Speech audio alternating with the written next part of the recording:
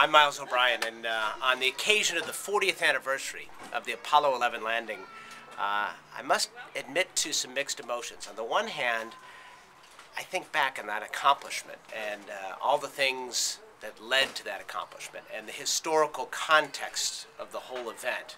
The fact that it happened in the midst of the Cold War, that it happened uh, to honor the wishes of a martyred president, and the fact that it happened in that incredibly short period of time. All of that just is amazing to me. And I think when the history books are written many years from now, it will stand as, as a singular achievement of the 20th century.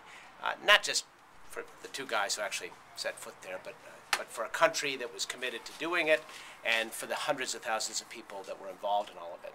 What makes me a little bit sad about it is that every time we have one of these anniversaries, I think about what we have not done in the 40 years since. And the fact that we left the moon, the fact that Apollo uh, 18, 19, and 20 were canceled by the Nixon administration, uh, the fact that we had a, um, uh, an orbiting um, space station that was um, in many ways more functional potentially than what we have right now uh, in the 70s, and we let that wither.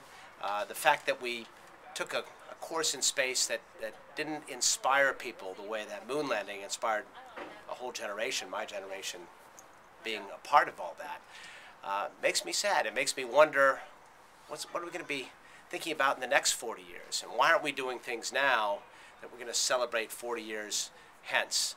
And uh, I think hopefully that will gather people's thoughts together and make them think about ways that we can explore in space, reach new milestones, put some new footprints down, and have some other things to celebrate in the future.